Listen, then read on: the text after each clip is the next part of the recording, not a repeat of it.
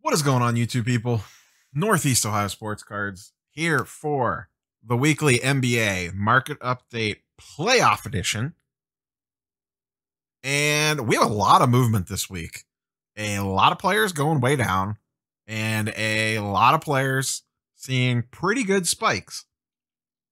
I think the nebulous nature of this playoff market and the fact that no one really knew who the hell was going to make it to the finals, and we still don't know that. But we have some clarity now, so I think people are getting a little bit more bullish with their dollars. Uh, and you're starting to see price movements reflect that. But for the guys that have been eliminated, whoo boy, their prices have been going down hard. This is some of the biggest changes I've seen in the four weeks I've been doing this on players moving on and exiting the playoffs. So someone in the comments a week last week asked about looking at guys that have been long gone from the playoffs and how their prices are holding up. And I am going to do that. I think I'll do that middle of the week next week sometime. Do a deep dive into, you know, De'Aaron Fox, Sexton, RJ Barrett, uh, Karl-Anthony Towns, like those types of guys uh, that have been, you know, didn't even either either didn't make the playoffs or have been eliminated for a while now. You know, maybe look at like a 60 day view uh, and kind of see like are those guys starting to get to the bottom or are they still falling as well? But for the purposes of this, we will be digging into players that recently exited or are moving on using Market Movers. Link in the description down below, along with the coupon code if you want fancy charts and graphs yourselves. So with all that being said, let's go ahead and dive in. So smash the like button, subscribe if you haven't. If you have any comments or questions, leave them down below. Let's rock and roll. Donovan Mitchell. Rip my Donovan Mitchell buy back in April. Uh, he got this is the biggest hammering I have seen out of anybody. This is over the last seven days.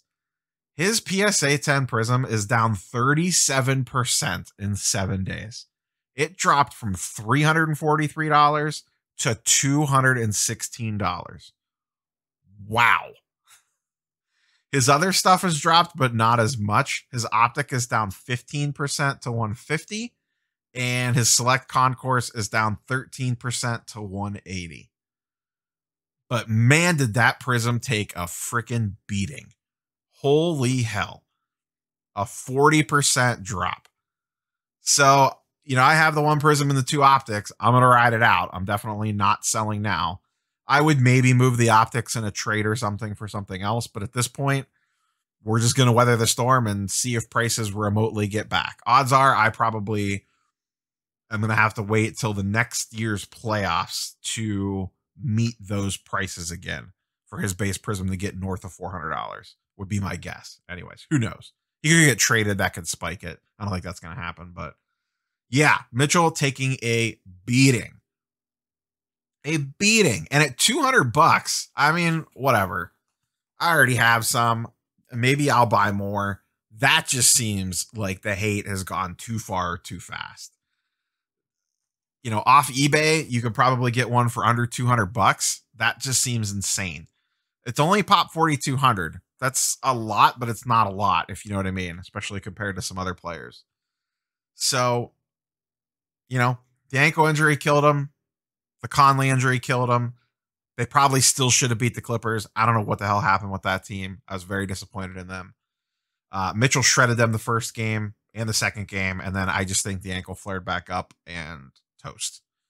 Is what it is. You win some, you lose some, but I still do believe in the player. So we will see what happens with him. But by far, the biggest hit I've seen just in the last seven days on his stuff. Uh, Embiid also taking a nosedive, 28% drop in the last seven days. I, I, I keep checking because some of these I ran back a little further than seven days on some of these players. Uh, Embiid PSA 10 down to $400. This is another one you want to talk about buying the dip on somebody. Uh, depending on how low this gets, this would be an interesting play. Dude almost won the MVP this year. Let's not forget that. Yeah, there's major health concerns. This is a pop, basically a 1100 card in a PSA 10.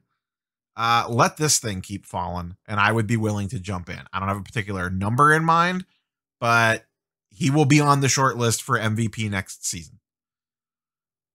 LeBron's not getting any younger. AD can't stay healthy. Uh, the Joker's still going to be there. You know, you'll have Luka if the Mavs can put together a good winning record.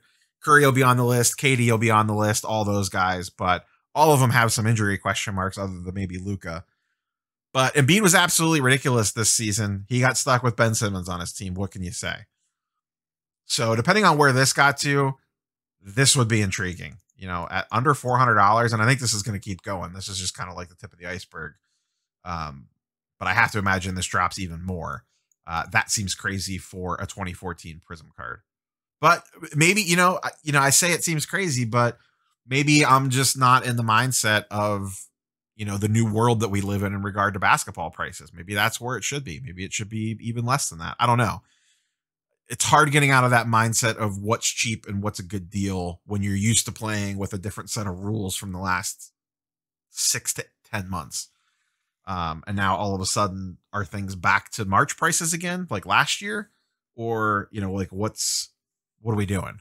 I don't think we all know. So we're just all taking our best guess. But if Embiid gets cheap, it's an interesting play, even for his base prism, because it's very low pop or low pop, not very low pop. Oh, Ben Simmons, how you vex me. One of my worst buys ever. Ben Simmons Optic PSA 10 bought last year during the bubble, and then two days later he hurt his knee, and it has never gotten close back to those prices. And it never will. I lost my ass on that card. Uh his optic is base actually stayed flat this week at $75, which is surprising. Only seven sold, but his prism dropped 25% down to 150 bucks. Listen, he looked like crap. He looked as bad as you could possibly look. There's a decent chance he gets traded. Depending on where he gets traded to, uh, he could see a price bump just off the trade news alone and the hopes, the wishes, and the dreams of the new team. I'm not saying it's a smart play. It's a play. It's risky. He could not get traded. Uh, and maybe they work things out and he puts up numbers last year, but there are, in my personal opinion, there are way better guys to put money into than Ben Simmons. However, once things get so cheap, you know, everything looks a little interesting. Like if this card got sub 100 bucks or something crazy like that, it would be really hard to pass it up. 2016 Prism, this is only pop 1300. Uh, not very many at all there. KD continues to slide, though not quite as hard. Well, his nine slid a little harder. Uh, and this is actually going back, yeah, seven days on this one too. PSA 10 down to 4K, down 10% on the week. PSA 9 down to a thousand, 25% drop on the week. And I actually saw a couple, these have been floating a little bit. Like I saw a couple go for around 950. I also saw some go for around 1050, hence averages out to a thousand. Uh, but you could probably definitely find someone selling one of these for sub a thousand off eBay if you really look. Uh, this is a card that's on my list uh, of things that I am potentially interested in picking up on the dip. In my opinion, if that team is healthy, they are the front runner next season by a mile for the NBA championship. And KD looked like the best player in the league. Uh, it's not his fault that Harden blew out his hamstring and Kyrie twisted an ankle and is a head case. There still could be some of that next year, but they'll have a full season, full training camp, off season to tweak the roster. They'll be one of the destinations for all the old guys to go to on uh, minimum deals and all that crap. For the ones that don't go to LA, the other ones will be going to Brooklyn. So, eh, you know, getting in on KD on the air quotes dip is seems like a good idea to me, especially on his Chrome lower pop card. PSA 10's 960, PSA 9's 1500. You put them together, that's only 2500 cards between the two. And I prefer the Chrome over the base paper, unless it's the black.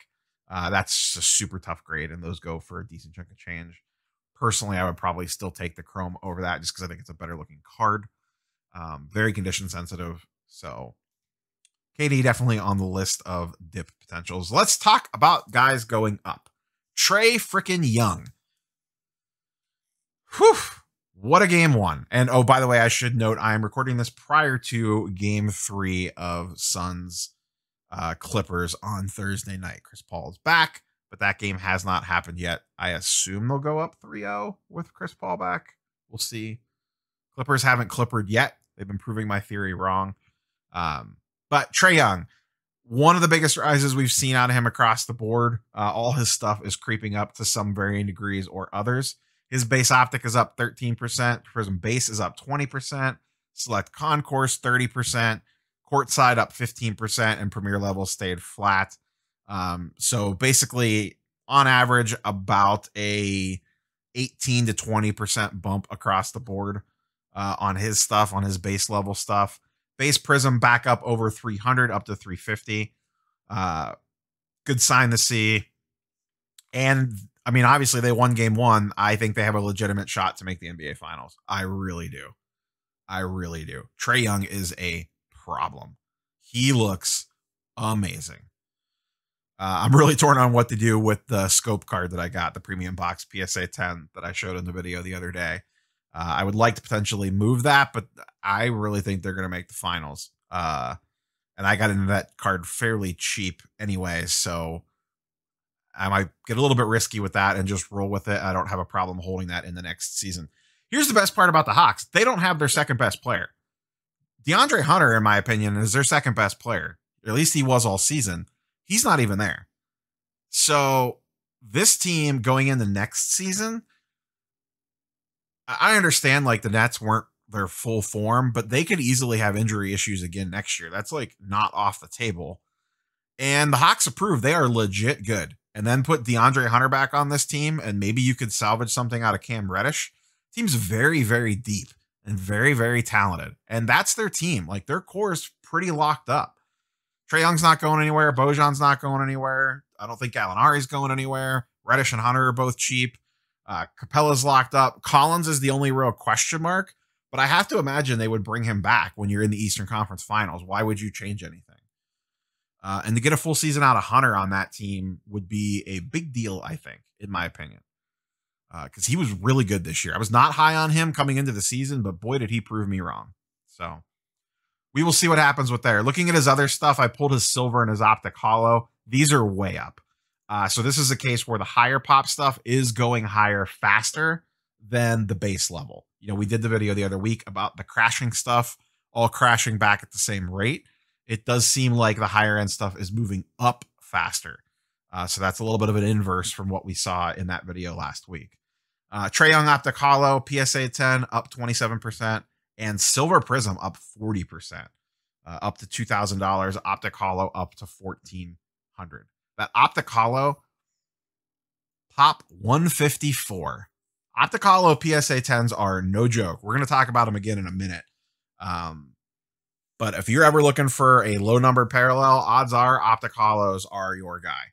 They are extremely tough grades and sexy looking cards. So, Devin Booker, he is kind of flattened out for the week. He's up 11% on the week overall, 875 to 975. Uh, he actually peaked up at 1100 on the triple double, and he's come back down slightly after getting his nose smashed in the other night. I don't know if that's why his card prices are dipping, uh, but he has pulled back a little bit interesting. They're definitely going to the NBA Finals. I'm sorry. Maybe I'm I keep jinxing myself by saying this against teams and the Clippers keep winning. I just don't see how the Clippers come back from 0-2 with Chris Paul coming back. Uh and Devin Booker is in line to win an NBA title. I would 100% take them against the Bucks. Not even close. I don't think the Bucks. I don't even know what's going on with the Bucks. I want to say they're not very good, but they have talent. I think their coach is just terrible. Uh, I think that's a lot of their their problems right now. Uh, but Booker PSA 10 kind of flatlined, not flatlined. It is up 10% overall. Uh, but I have a feeling this is going to creep back up. It's probably going to stay kind of up and downsies. Uh, but if he has a big blowout game or once they lock in, I could see this creeping back up again. Uh, if you are looking for one, they are available on StarStock still for cheaper. There is one left at $900 uh, which is a fair. That's actually like a perfectly fair price because a 975 best offer buy it now.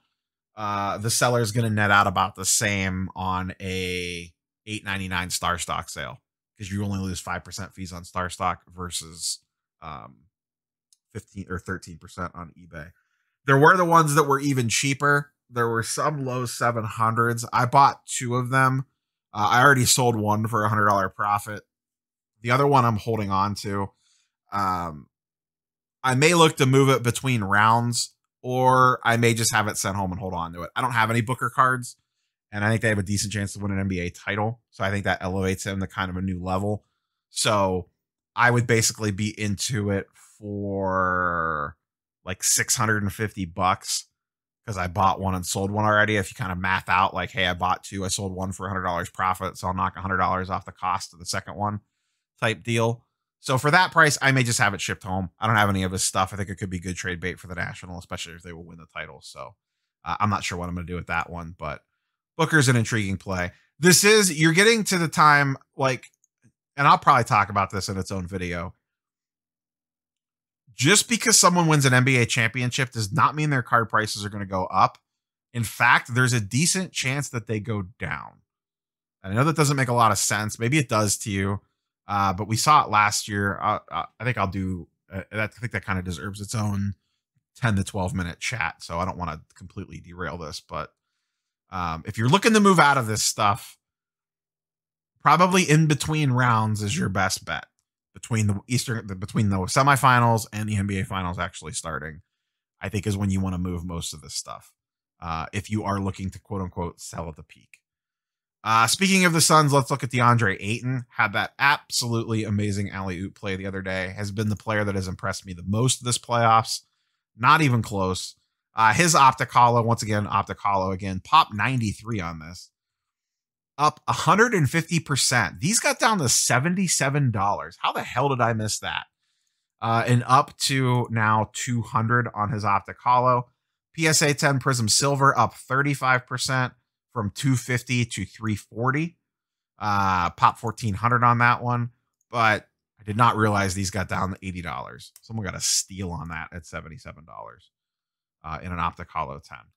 So here's the graphs on those. Uh, his stuff like I said, he's been playing absolutely out of his mind. Uh, been the player that has impressed me the most by far. Him and Trae Young are the two that have impressed me the most by far. And the 2018 draft class, man, what an absolute motherload of talent.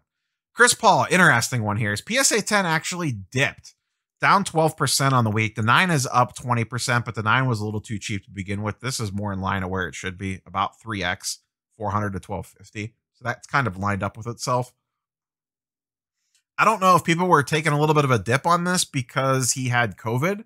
Now, he's one that if he wins the NBA title, his stuff could go up and stay up uh, because he's regarded as one of the best point guards of all time. And now he would have the ring under his belt. I mean, he's already a clear cut NBA Hall of Famer. This would just add on top of that legacy and his stuff's pretty hard to get. This is his Topps Chrome base. PSA 10's pop 240, PSA 9's pop 259. So that's only 500 cards between the two grades. That is not a lot. So interesting one if you're a big CP3 fan, if you think they can win the NBA title. Maybe you could move it for a profit, but I wouldn't necessarily mind this as just a longer term buy it and forget it type thing.